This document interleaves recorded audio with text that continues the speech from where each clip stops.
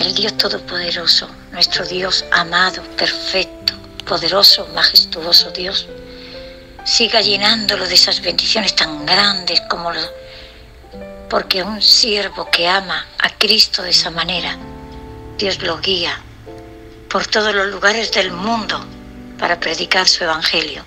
No olvide, pastor, el sueño aquel que tuvo hace ya, creo que más de un año, donde se veía caminando y viendo el mar y como un grupo de personas intentaban arrebatar esa, esa bendición que Dios le dio. Pero usted es un hombre que lucha, es un hombre que no cree en el hombre, sino que confía en nuestro Señor Jesucristo.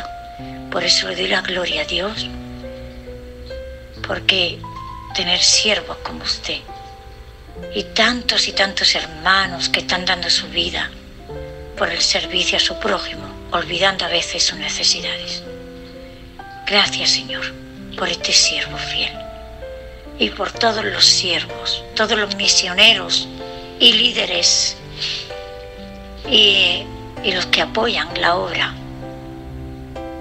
Gracias Señor por todos los que van por el mundo, predicando el Evangelio, predicando las buenas nuevas. A Dios sea la gloria, Señor. Amén.